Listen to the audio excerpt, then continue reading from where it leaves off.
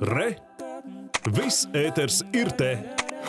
Daudz uzņēmuma Latvijas gāze klienti pēdējās dienās sociālos pauž sašutumu par jaunajiem gāzes izlīdzinātajiem maksājumiem. Atsevišķos gadījumos uzņēmumu klientiem būs jāmaksā pat četreiz vairāk. Ekonomikas ministrija gatavos priekšlikumu, lai šie iedzīvotāji energokrīzes atbalstu varētu saņemt ātrāk par apkuras sezonas sākumu. Vairāk stāsta Īļa Kozins. Apkuras sezona vēl nav sākusies, taču iedzīvotājus jau nepatīkami pārsteidz lielie rēķini par gāzi. Runa ir par iedzīvotājiem, kuri izvēlējušies maksāt izlīdzinātos mēnešu maksājumus. Līdz šim valdības atbalstītajā pasākumu paketē, lai atvieglotu iedzīvotājiem dzīvi energo krīzē, šis jautājums netika pilnvērtīgi risināts.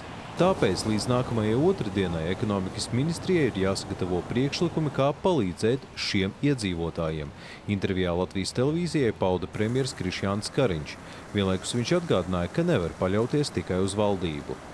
Nevienas valsts valdība nespēs simtprocentīgi visu kompensēt, tātad mums arī būs katram individuāli jāskatās, kā mēs varam saprātīgi apieties ar pieejamiem energoresursiem, katrs eh, individuāli arī pietalpot. Tad eh, solidāri eh, sabiedrību kopā ar valdību mēs tiksim šim cauri. Ja attiecīgie ministru kabineta noteikumi tiks pieņemti nākamajā sēdē, tad jau rēķinos par augustu izlīdzinātā maksājuma veicēja varēs sajust valsts atbalstu. Nu, katrā ziņā mēs darīsim visu tā, lai vienosimies ar pakalpojumu sniedzēju, lai šos pārreķinus var veikt. Jo iepriekšējā sezonā, kad bija līdzīga kārtība, tad pakalpojumu sniedzējs piegādātājs eh, bija spējīgs to ātri, ļoti ātri īstenot. Mēs ceram, ka arī šoreiz mums tāpat izdosies ātri to izdarīt.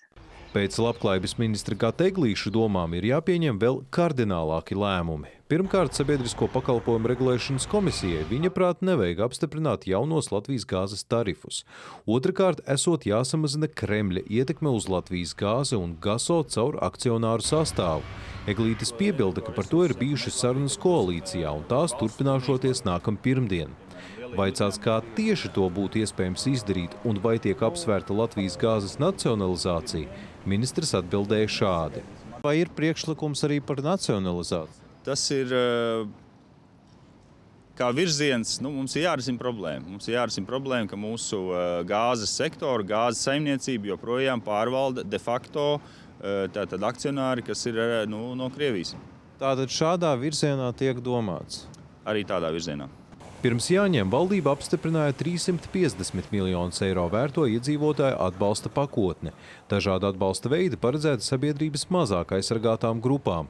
Savukārt neatkarīgi no ienākuma līmeņa, iedzīvotāji varēs rēķināties, ka virs 68 eiro par megavatu stundu valsts seks 50% no siltumenerģijas sadārdzinājuma. Ja iedzīvotājiem būs grūtības nomaksāt arī atlikušo pusi no sadārdzinājuma, viņi varēs vērsties pašvaldību sociālajos dienestos pēc mājokļa pabalsta. Ilija Kozins Dzintars Spriņģis, Latvijas televīzija.